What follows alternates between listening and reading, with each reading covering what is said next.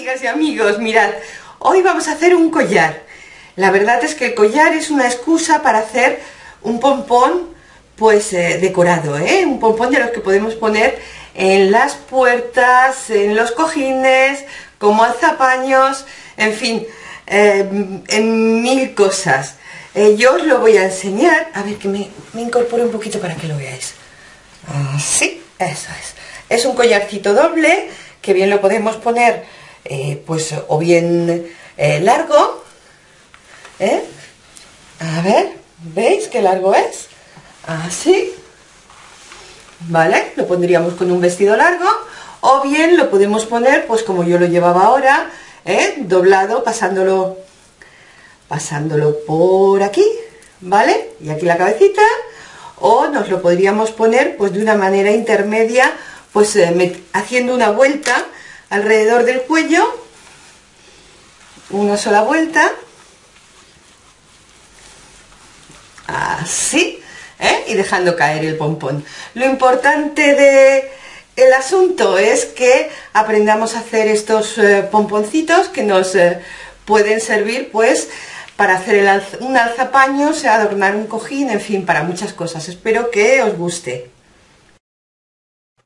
Mirad, le damos vueltas a un trocito de hilo ¿eh? para hacer un cordoncillo, que es, eh, una vez que has dado muchas vueltas, pues enrolla solo. Le hacemos un nudito y lo ponemos cruzado encima de un cartón.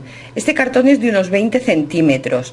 En función de lo grande que queráis hacer, lo largo que queráis hacer el pompón, pues pondréis más grande o más, cortito eh, lo que es el cartón. Empezamos a darle vueltas y le damos pues bastantes. Yo le he dado como unas 100 vueltas. ¿Que queréis que sea más fino? Pues menos. ¿Que queréis que sea más grueso? Pues más. Una vez que ya lo hemos hecho, ahora lo que hacemos es, con el cordón que hemos cruzado, atarlo bien fuerte, ¿eh? todo lo fuerte que podáis. ¿eh? Le damos un par de nudos, que quede bien asegurado, y lo sacamos del cartón que hemos usado como plantilla.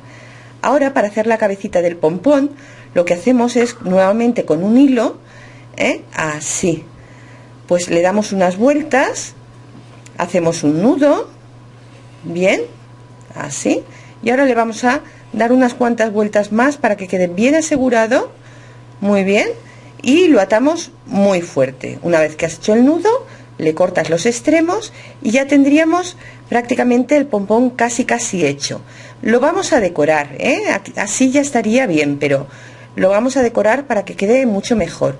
Con un hilo de alambre, que es un alambre muy finito, que venden para hacer manualidades, ¿veis? Lo que hago es que lo engancho, le doy, unas vueltecitas para que no se me escape y lo vamos a utilizar pues como si fuese hilo y aguja.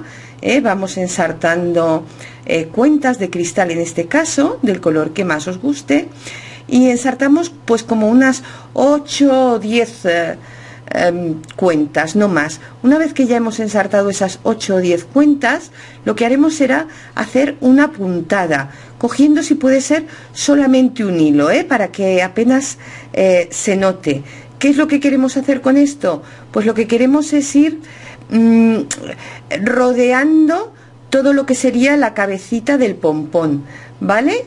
Eh, volvemos a repetir la operación, ahora lo vais a ver mucho mejor cómo va quedando. 8 o 10 cuentas y volvemos a dar una puntada. Y vamos a ir subiendo mientras estemos en la parte gruesa del pompón.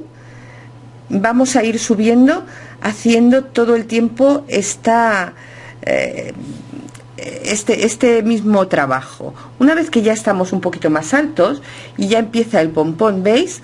Empieza el pompón pues a, hacer, hacerse más estrecho, lo que haremos en vez de eh, poner 8 o 10 cuentas en cada, en cada puntada, pues pondremos unas pocas menos. ¿eh? Pondremos 6, eh, 7 primero, luego 6, mm, 5, luego 6, 4, en fin, para que no queden muy grandes y al final ya serán de solo una. ¿Veis? Aquí ya he terminado y lo que hago es con el hilo sobrante, el alambre sobrante lo enrollamos para que quede bien sujeto y cortamos la punta. ¿eh? Así nos queda la cabecita muy arreglada. Como esto ya está, lo que hacemos es cortar.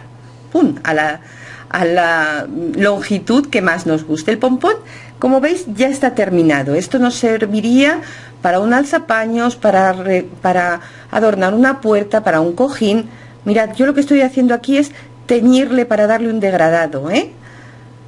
Así. Y nada, ya esto ya está terminado. Aquí lo que hacemos es un collarcito, pues nada, pasándole cuentas eh, al tuntún, tal y como me ha parecido. Y lo único que hacemos eh, al final es coserlo al pompón, aunque como os decía, podéis pues utilizarlo para un cojín, para eh, la llave de una puerta, para una cajonera, para una cortina, en fin, para lo que queráis. Espero que os guste el resultado, que es este, y que os animéis a hacerlo. Un beso.